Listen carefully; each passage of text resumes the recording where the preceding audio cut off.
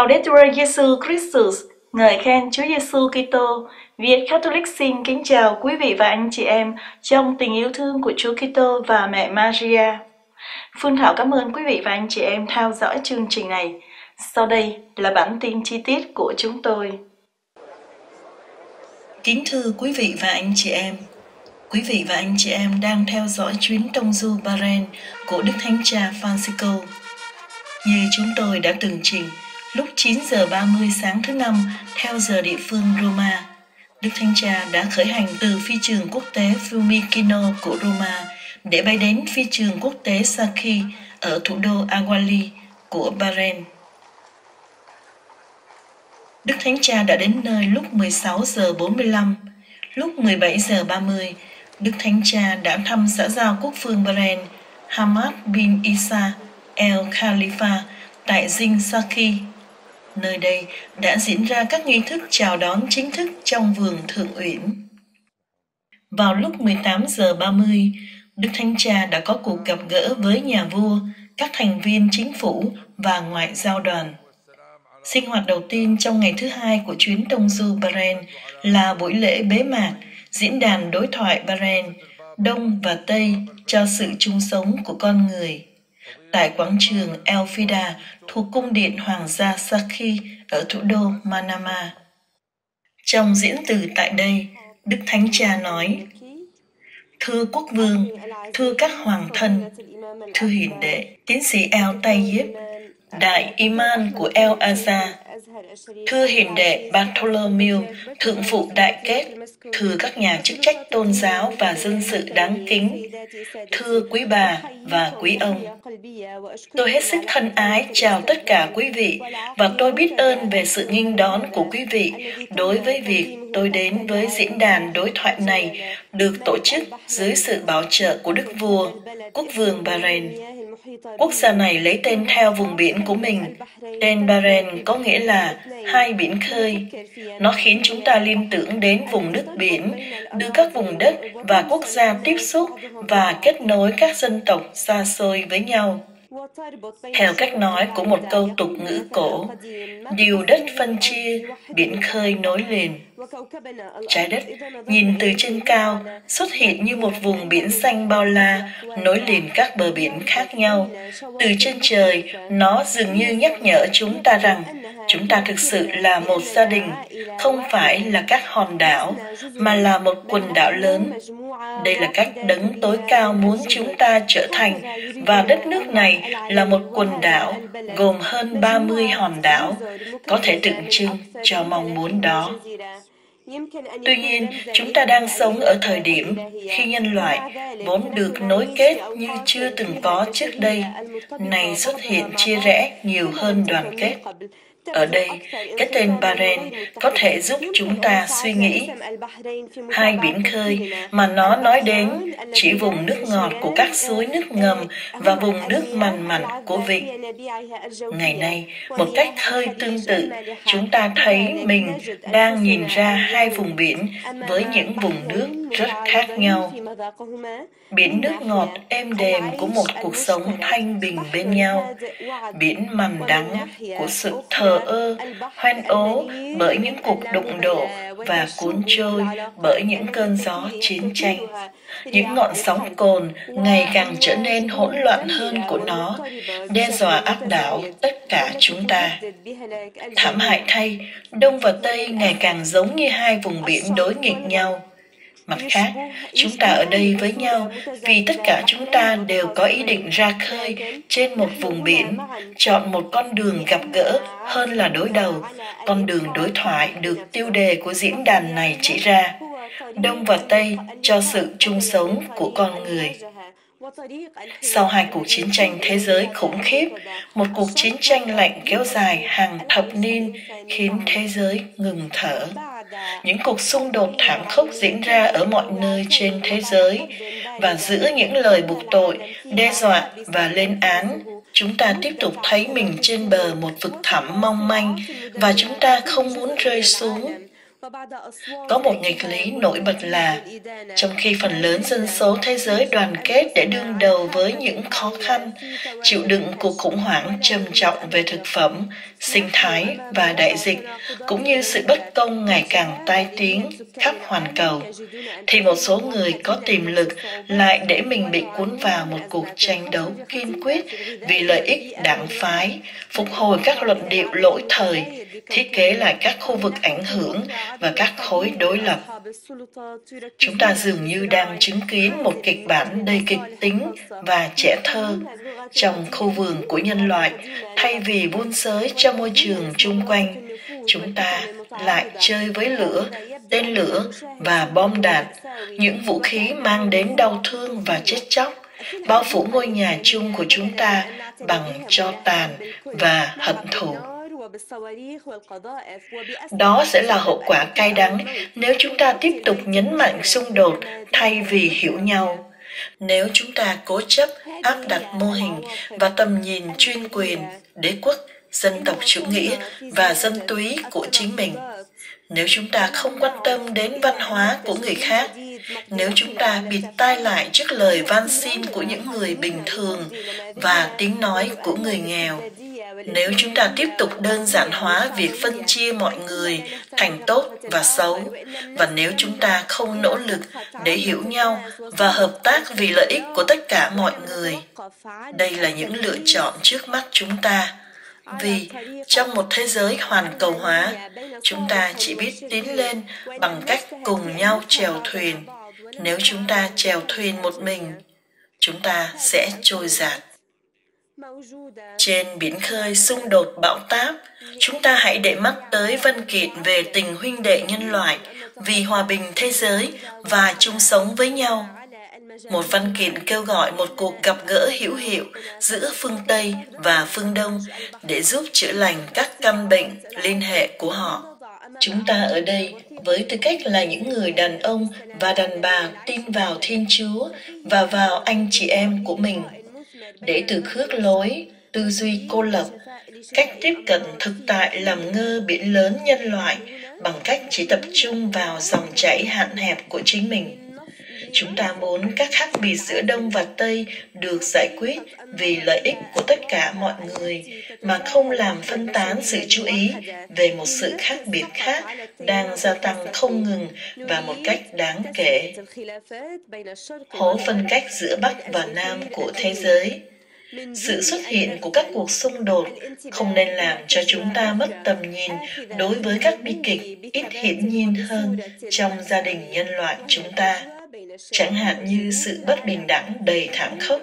Theo đó, phần lớn người dân trên hành tinh của chúng ta phải trải qua sự bất công chưa từng có, nạn đói đáng xấu hổ và thảm họa của biến đổi khí hậu. Dấu hiệu cho thấy chúng ta thiếu quan tâm đến ngôi nhà chung. Khi nói đến những vấn đề như vậy, những vấn đề được chúng ta thảo luận trong những ngày này các nhà lãnh đạo tôn giáo chắc chắn phải cam kết và nêu gương tốt. Chúng ta có một vai trò cụ thể để thủ diễn và diễn đàn này đã mang đến cho chúng ta một cơ hội hơn nữa trong lĩnh vực này.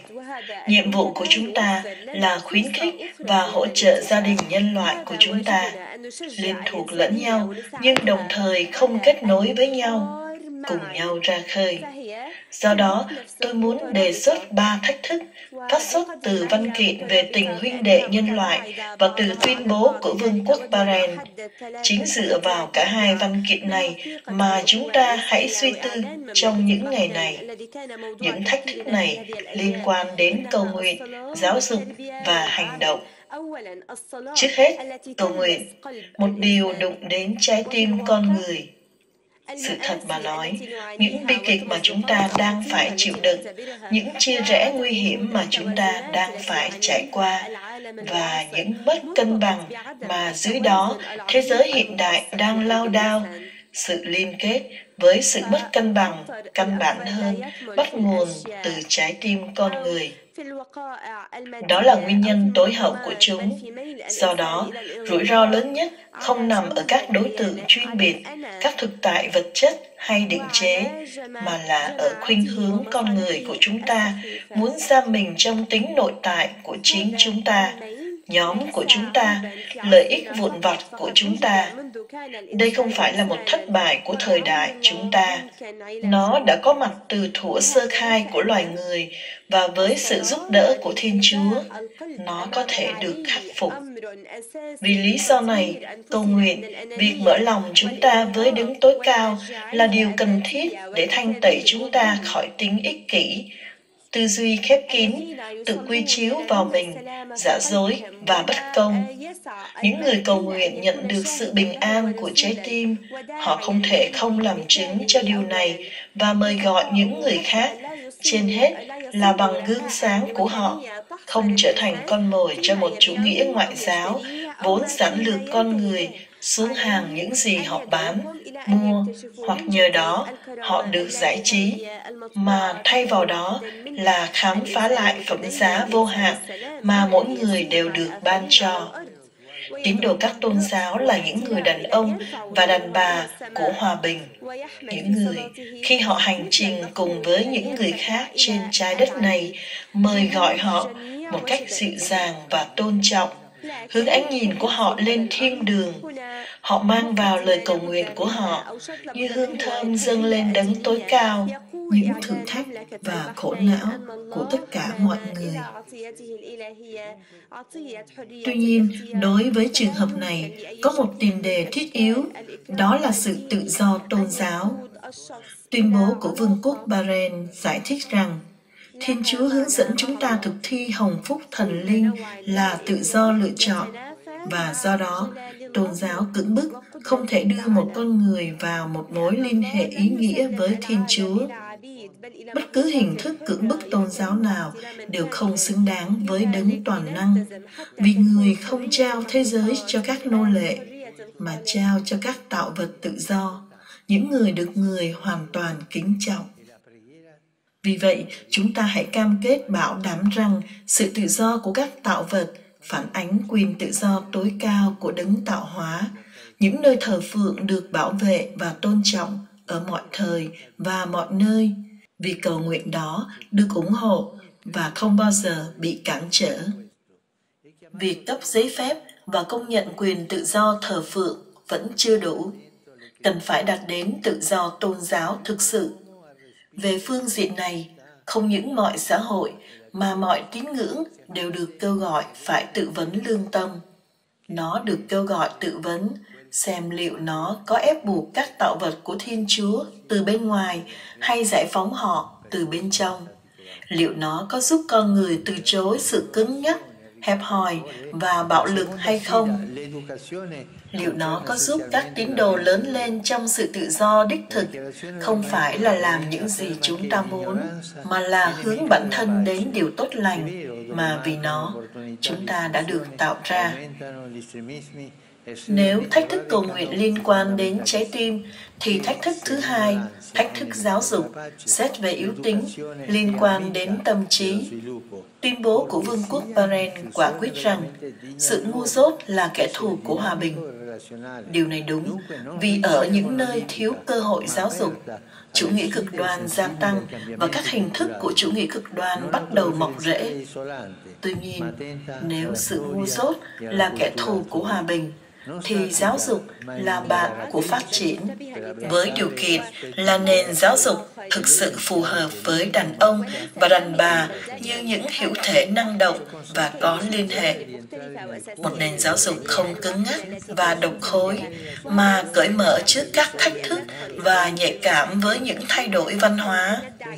Không tự quy chiếu và cô lập nhưng chú ý đến lịch sử và văn hóa của người khác không trì trệ, nhưng ham học hỏi và cởi mở đón nhận các khía cạnh khác nhau và thiết yếu của một gia đình nhân loại mà chúng ta thuộc về. Bằng cách đó, nó có thể đi vào trọng tâm của các vấn đề mà không cho là mình có câu trả lời dễ dàng để giải quyết các vấn đề phức tạp. Nhưng thay vào đó, sẵn sàng đón nhận khủng hoảng mà không hiểu nó dưới góc độ xung đột xung đột luôn dẫn đến hủy diệt. Một cuộc khủng hoảng giúp chúng ta suy nghĩ và phát triển. Bởi vì quả không xứng đáng với tâm trí con người khi nghĩ rằng quyền lực nên thắng lý trí đưa các phương pháp của quá khứ vào các vấn đề hiện nay, áp dụng các mô hình dựa trên kỹ thuật hoặc sự thiện lợi đơn thuần đối với lịch sử và văn hóa của con người. Điều này có nghĩa là chúng ta phải đặt câu hỏi, cho phép mình được thách thức, học cách tham gia đối thoại một cách kiên nhẫn, tôn trọng và sẵn lòng lắng nghe, tìm hiểu lịch sử và văn hóa của người khác đó là cách giáo dục tâm trí con người bằng cách khuyến khích sự hiểu biết lẫn nhau. Vì nói rằng chúng ta khoan dung là điều không đủ. Chúng ta thực sự phải nhường chỗ cho người khác, cho họ quyền và cơ hội đây là một cách tiếp cận bắt đầu với giáo dục và nó là một cách mà các tôn giáo được mời gọi hỗ trợ. Cụ thể, tôi muốn nhấn mạnh ba ưu tiên giáo dục cấp bách. Thứ nhất, việc công nhận phụ nữ trong khu vực tôn, tức là quyền học hành, việc làm, quyền tự do thực thi các quyền xã hội và chính trị của họ. Về điều này, cũng như trong các lĩnh vực khác, giáo dục là con đường dẫn đến sự giải thoát khỏi những di sản lịch sử và xã hội. Trái ngược với tinh thần đoàn kết huynh đệ vốn phải đánh dấu những người thờ phượng Thiên Chúa và yêu thương người lân cận. Thứ hai, bảo vệ các quyền căn bản của trẻ em để các em được lớn lên, được đi học, được giúp đỡ và hỗ trợ để không phải sống trong cảnh kìm kẹp của đói khát và bạo lực. Chúng ta hãy dạy người khác và tự học cách nhìn những cuộc khủng hoảng, các vấn đề và các cuộc chiến tranh qua con mắt của trẻ em. Đây không phải là dấu hiệu của sự ngây thơ mà là sự khôn ngoan, biết nhìn xa trông rộng bởi vì chỉ khi chúng ta quan tâm đến chúng thì sự tiến bộ sẽ được phản ánh một cách hồn nhiên, chứ không phải là lợi nhuận và dẫn đến việc xây dựng một tương lai tốt đẹp hơn và nhân bản hơn. Giáo dục bắt đầu từ trung tâm của gia đình và tiếp tục trong một cộng đồng, làng hoặc thành phố thứ ba, tôi muốn nhấn mạnh đến việc giáo dục quyền công dân, cách sống trong cộng đồng, tôn trọng lẫn nhau và luật pháp. Ngoài ra, tầm quan trọng đặc biệt của khái niệm quyền công dân vốn dựa trên sự bình đẳng về quyền lợi và nghĩa vụ. Ở đây, cần có sự cam kết để chúng ta có thể thiết lập trong xã hội của chúng ta khái niệm về quyền công dân đầy đủ và bác bỏ việc sử dụng đầy kỳ thị thuật ngữ, thiểu số, vốn gây ra cảm giác cô lập và tự ti. Việc sử dụng nó sai, mở đường cho sự thù nghịch và bất hòa. Nó hủy bỏ bất cứ thành công nào và lấy đi các quyền tôn giáo và dân sự của một số công dân, những người do đó bị kỳ thị. Và như vậy, chúng ta đi đến thách thức cuối cùng trong ba thách thức của chúng ta liên quan đến hành động, chúng ta có thể nói các khả năng của con người chúng ta. Tuyên bố của vương quốc Bahrain nói rằng, bất cứ khi nào sự thù hận, bạo lực và bất hòa được rao giảng, danh của thiên chúa sẽ bị phạm thánh tất cả những người có tôn giáo đều bác bỏ những điều này như hoàn toàn không thể biện minh được. Họ mạnh mẽ bác bỏ sự phạm thánh của chiến tranh và việc sử dụng bạo lực. Và họ nhất quán đem việc bác bỏ này vào thực hành. Vì tuyên bố rằng một tôn giáo là hòa bình là điều chưa đủ chúng ta cần phải lên án và cách ly những thủ phạm của bạo lực lạm dụng danh nghĩa của nó cũng sẽ không đủ khi chúng ta tự phân cách với việc bất khoan dung và chủ nghĩa cực đoan. Chúng ta cần phải chống lại chúng. Đây là lý do tại sao cần phải ngưng hỗ trợ các phong trào khủng bố được thúc đẩy bằng tài chính, cung cấp vũ khí và chiến lược và bằng các nỗ lực biện minh cho các phong trào này, thậm chí sử dụng các phương tiện truyền thông. Tất cả những điều này phải được coi là tội ác quốc tế đe dọa an ninh và hòa bình thế giới. Sự khủng bố đó phải được lên án dưới mọi hình thức và biểu thức của nó, và cả khủng bố ý thức hệ nữa. Những người đàn ông và phụ nữ có tôn giáo với tư cách là những người yêu chuộng hòa bình cũng phản đối cuộc chạy đua tái vũ trang, chiến tranh thương mại, thị trường của cái chết. Họ không ủng hộ liên minh chống lại một số, nhưng ủng hộ các phương tiện gặp gỡ mọi người, không khuất phục trước các hình thức chủ nghĩa tương đối hay chủ nghĩa hòa đồng hỗn lốn dưới bất cứ hình thức nào. Họ theo đuổi một con đường duy nhất, đó là con đường huynh đệ, đối thoại và hòa bình. Đó là những điều họ ủng hộ các bạn thân mến, chúng ta hãy theo đuổi con đường này. Chúng ta hãy mở rộng trái tim của chúng ta với anh chị em của chúng ta. Chúng ta hãy tiếp tục hành trình hướng tới việc nhận biết và thâm hiểu nhau nhiều hơn. Chúng ta hãy củng cố mối liên kết giữa chúng ta, không hề hai lòng hay sợ hãi, nhân danh đấng tạo hóa, đấng đã đặt chúng ta ở với nhau trên thế giới này như những người bảo vệ anh chị em của chúng ta. Và nếu các thế lực khác nhau đối xử với nhau trên cơ sở lợi ích, tiền bạc và quyền lực, chúng ta có thể chỉ cho họ thấy rằng một con đường gặp gỡ khác là điều khả hiểu có thể và cần thiết vì vũ lực, vũ khí và tiền bạc sẽ không bao giờ vẽ lên một tương lai hòa bình. Vì vậy, chúng ta hãy gặp gỡ nhau vì lợi ích của nhân loại và nhân danh đấng yêu thương nhân loại. Đấng có tên là hòa bình.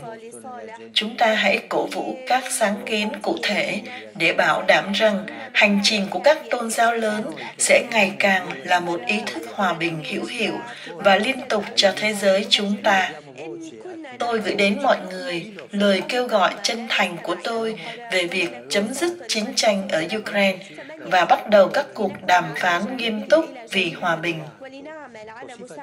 Tạo hóa mời gọi chúng ta hành động, đặc biệt thay mặt cho tất cả những tạo vật của người, những người chưa tìm thấy một chỗ đứng thỏa đáng trong nghị trình của kẻ có quyền thế, người nghèo, người chưa sinh, người già, người ốm yếu, người di cư. Nếu chúng ta, những người tin vào Thiên Chúa của lòng thương xót, nhưng không lắng nghe người nghèo và không đem tiếng nói cho người không có tiếng nói, thì ai sẽ làm điều này đây? Chúng ta đứng về phía họ. Chúng ta hãy cố gắng hết sức để giúp đỡ một nhân loại bị thương và bị thử thách rất nhiều làm như vậy, chúng ta sẽ kéo xuống thế giới của chúng ta phước lành của đấng tối cao cầu mong người soi sáng cuộc hành trình của chúng ta và đoàn kết các trái tim khối óc và sức lực của chúng ta để việc tôn thờ thiên chúa của chúng ta được song hành với một tình yêu cụ thể và huynh đệ đối với người lân cận. để cùng nhau chúng ta có thể là những nhà tiên tri của cộng đồng những nghệ nhân của sự hiệp nhất và những người xây dựng hòa bình. cảm ơn các bạn